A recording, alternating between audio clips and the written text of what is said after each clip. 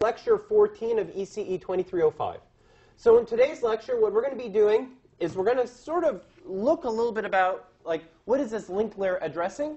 So we know about IP addresses, but what about the MAC addresses? We saw this a little bit before in several previous lectures, but we're going to talk a little bit more about the structure and why do we have um, MAC addresses that are basically used in the link layer. We'll then talk about address resolution protocols.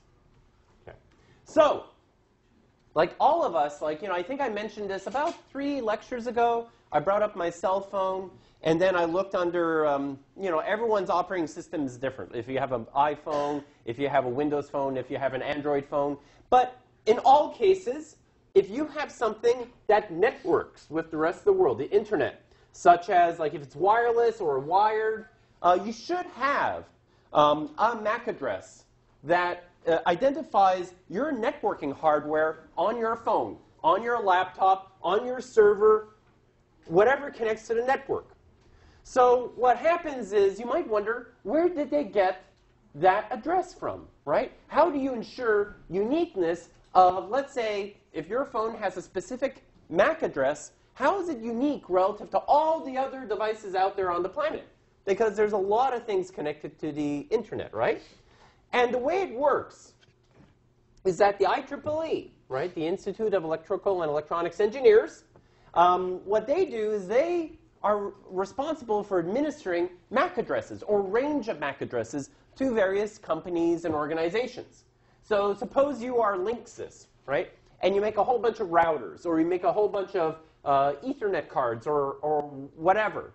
Um, what will happen is IEEE says, this is the range that I will give you. And then the responsibility is up to you to say, okay, this NIC, this Ethernet card is going to have uh, this MAC address, and let's say increment by one, and increment by one, and increment by one, progressively as you produce more Ethernet cards for purchase, right? So this way, what happens is it's like your fingerprint or your DNA, your identifier for that hardware, right? The IP address is for essentially like the network layer is for your computer, your operating system. That can change. That can be defined by some sort of system administrator. So on a network, with all those computers interfacing with each other, you, the network administrator will say, you have this IP address, and you have this one and this one, and they're unique too. In the network, or if it's connected to the internet, all of those guys will be uh, um, um, unique as well. But what the MAC address does is it says this hardware. So in addition to the, the IP address that says this computer with this operating system connected to this network has this address, this uh, Internet Protocol address, I have another address below it that identifies the hardware itself, right? And what happens is this hardware address, this MAC address, is used in a network whenever you're connecting to other devices, including routers and servers and such, saying, oh, I'm getting it from I'm getting something from this computer with this IP address. Oh, and the connection, the hardware connection. So let's say I'm doing wired versus wireless. I'm and that that computer, that uh, device is connecting to my network by wired connection. I'm going to see its MAC address, right? Uh, for for the wired connection, for the wired Ethernet connection, not the wireless Ethernet card, right? So basically, whatever hardware you connect to the network it's going to see the IP address, right, of the, uh, of the, um, of the, of the system that's producing this information, to the Internet Protocol information, but then also what hardware is connecting physically to that network. So what happens is it's unique. Well, theoretically it's unique. So I, I wasn't aware of this. Like Liu actually brought this up. There are ways of spoofing the MAC address. So suppose you want to break into the Wyglinski household, right? Our uh, very secure private network or something like that. And right now what happens is, I think I mentioned this also several, several lectures ago, about how I only permit specific MAC addresses affiliated with specific hardware. Wife's iPhone, wife's laptop, Alex's uh, um, uh, you know, smartphone, Alex's laptop, Alex's desktop computer, perhaps the um, digital scanner. Oh, that thing's amazing. You put 50 sheets in it, and it scans it all. Absolutely love it. But only those. Mainly because I'm paranoid that my neighbors, like 500 feet away, are going to like connect to the network and steal stuff from me and the stuff. But what happens is, suppose you guys are monitoring and you detect, oh, I'm, I'm detecting some laptop and it has like this MAC address. You can spoof your device and also look like that. And all now you need to do is figure out, okay, uh, what's a legit IP address? I also reserve those as well. And then you can try and connect to my network. So it's not that difficult. That MAC address can be changed. I know, I'm teaching bad stuff in class. So, like the question is, where is this, um, this lovely MAC address? Well, in Windows, because that's what I'm running in, uh, what you would do is, okay, um, okay, I'm going to try and do this in real time. Actually, mm, okay, come on, come on. Maybe CCC won't let me play with this. come on, let me. If, if they block it, well, there are a lot of other examples. So, ah, okay, fine. Wow, they really, okay. And I thought I was paranoid. Anyways, what? See, ah, thank you. And do IP config from there. Smart. Thank you. Thank you. So then do IP config. What is it? Slash all? Yeah, there we go. Thank you. You saved the day. So what happens is what you've got here is essentially all the um, network information that you have for this computer that's underneath the podium. So here what you've got is Looks like you've got a local area network 2. You have another one. You have an IP configuration, so it's peer-to-peer -peer and all that. So this is what I mean. This guy here, here's your physical address. That's your MAC address. So it's in hex. So we allow 0 through 9, A, B, C, D, E, F, right? And so the combination of those characters will give us a unique address for the Ethernet card that's installed in the PC. And then what happens is we have this other guy, and it seems like, so it's VirtualBox. So it seems like, let me think, VirtualBox is, I, I guess it's like some sort of emulation, uh, OS, whatever. So it too has um, its own MAC address. And then notice that you also have, along with it, an IPv4. So that's the old Ethernet address. Because one thing that's kind of interesting, we have IPv6.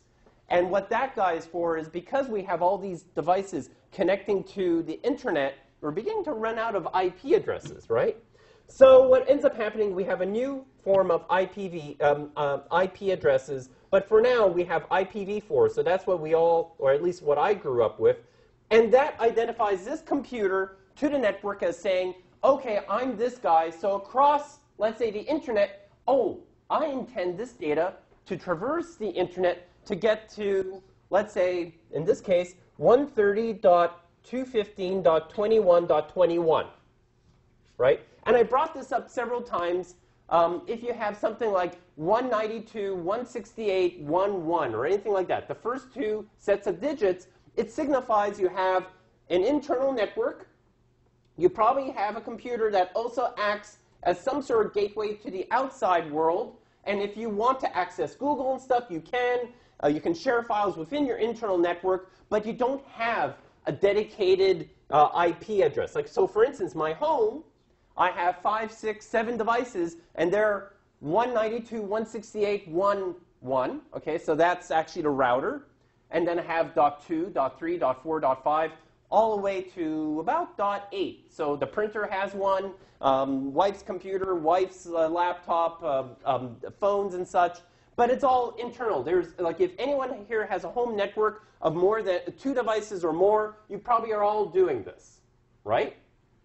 So, and then you can identify as well, like in some cases, you can also define the host.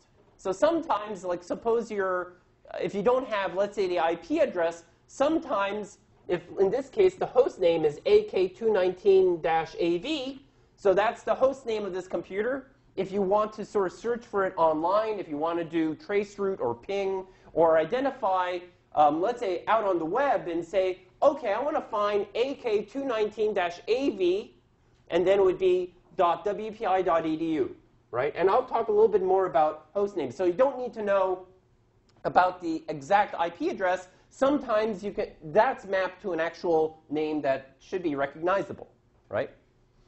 All right, so I digress. So you've got that, and if you have Linux, it's ifconfig, right? So as a sample, again, this is an internal address, right? That would be like what your router would be. And inside your home address, I mean, sorry, inside your home network, suppose you have um, blah, blah, blah. You have, let's say, my laptop at home, and it would communicate, send information to this address, and that would be my router. And my router, in turn, would then have an actual address, another IP address connecting to, well, uh, no, would it have another IP address? Or would it be connected to the cable modem? And that cable modem would actually get a physical address off of, let's say in this case, Charter, right? So the router would, would collect all this information, and then that would act as the gateway between my home network and the outside world. So whatever you are, so Charter, Fios, um, or, or, or, Comcast, um, you would have a cable modem, and that would be your actual interface with the World Wide Web and with the Internet. Okay. So one thing I, I did not discuss, which is kind of interesting, is this idea of, of called Address Resolution Protocol. So what ARP is about is that these devices on the network usually pair up. If you notice, like for instance, ipconfig, you have both a MAC address and you have an IP address. Usually, like in addition to itself, it also has a table of all other IP and MAC addresses of every other device connected to that network, right? So what ends up happening is you have this mapping. It also has something called TTL, and it's not it's not transistor. It's not it's not a transistor te technology. What it stands for is time to live. So what happens is, for instance, in law cases, like for in, like uh, in charter, so a little bit separate from this, what happens is the IP address that's assigned to you by your uh, internet service provider. So for instance, in my case, it's charter. What happens is it says, here's your address. And after some time, it renews and renews. Like maybe it's a few hours, maybe it's several days. Um, if there's not too much change in the network, you just get the same address over and over and over again, right? What happens is in one of these networks, what happens is there is also that sense of dy dyna uh, dynamics where um, the MAC and IP address might be current at one moment and may not be current at another moment. So the TTL means this has a shelf life of X number of minutes or X number of hours. And then what happens is you have to remap it. You have to find it out. So what ARP does is this process of, suppose I have the IP address, what's the MAC address? Or the other way around. What's the MAC, like I have the MAC address, what's the IP address of this device? Okay. So the next two slides talk about doing ARP in both if you're in the same LAN and when you're in two separate LANs. So the process is, first of all, suppose you have node A and he wants to send data to B. He has the IP address of B. So let's say there's software and says, yeah, yeah, yeah, yeah, send to 192.168.1.4. Cool, right? What's the MAC address of B? Don't know. So what happens is this process, okay, what it does is A broadcasts to the entire network. It says, hey, yo, I'm, I'm looking for B. This is his IP address, but I don't know his MAC address. B will receive these ARP packets, and, and then what we'll say from A, and then respond back to A and says, hey, A, this is actually my MAC address. Here you go. So it would be direct. It wouldn't be over the air to everyone. It would just be, A, thank you. I've received your ARP request. Here you go. Here's my MAC address. A will say, thank you very much. Here's the data. Right? And this is great. In the LAN, it's very easy. And I'll get back to how this looks in a second. If it's two separate LANs, let's say A and B are in two different networks, then you have to go through a router. So it's not as trivial. So what I'm going to do is I'm going to draw uh, you know I want to draw. I'm going to draw by command line what, what I mean, okay? So, so what happens is the following. So let's say I have A, and suppose I have B. And let's say they're connected to the network, okay? Network. This is my LAN. So what will happen is, so A will have a table, right? So it will have B, and it has the IP address, but it does not have the MAC address. Let's say C, it has the IP address, it has the MAC address. Let's say D, it has the IP address, it has the MAC address. But this is the guy that he wants to find out now. So the process is going to be as follows. So So what A is going to do is it's going to broadcast to everyone, including B, and it will say, um, is B out there? I have his IP address. Okay? And then B is going to respond. B is going to say, Hi, A. I know, it's almost like this, like dialogue is like, oh, oh, oh. so hi, A. Got your, got your ARP request, ARP request. Here is my MAC address. Okay? And then what happens is A is going to say, like now that he has both MAC and IP address. So now this is updated. This is updated. So now for B, you have IP address, check, and you have MAC address, check. Here is the start of my transmission. Okay? So the process, if you're on the same LAN, so let me emphasize, this, this, this is for the same LAN. What you've got is essentially you have A broadcasting to the network saying, I have this IP address. Is B out there? What's your MAC address? B is going to respond, hey, A, I got your message. Here's my MAC address. Then A says, thank you. Now I'm complete. Let's start transmitting. All right? If, on the other hand, so now let's get complicated. If, on the other hand, you have something of this nature, so let's say you've got A, you've got B,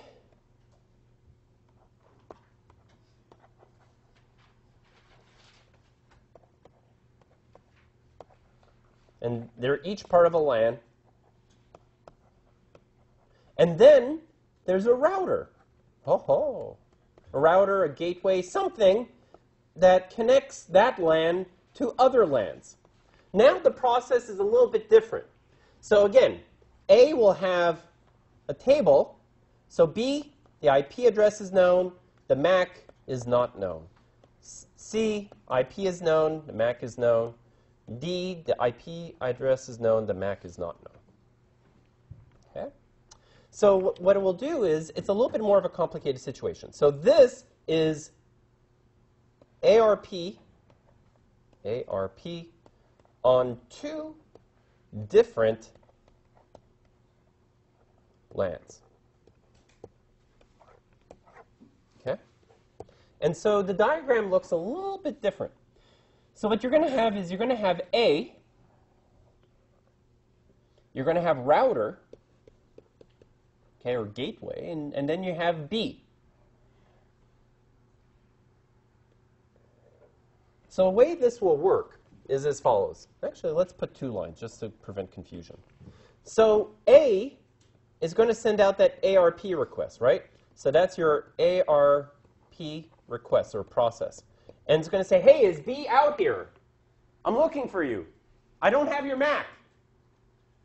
The router is going to say, like, given that IP address, he's not on this network. So what happens is, but the router knows how to get a hold of B. So at that point, A is taken care of because um, essentially A does not need B's MAC address because they're not even physically on the same network anymore. They're not on the same LAN. But A knows the router's MAC address, right? So all that really matters is that A has a connection to the router, and that's it. It will just keep on continuing to transmit that way. But now the router, on the other hand, will continue this process. And what the router will do is it's going to reach out and say, hey, B, if you're out there, I have your IP address, I don't have your MAC. Okay?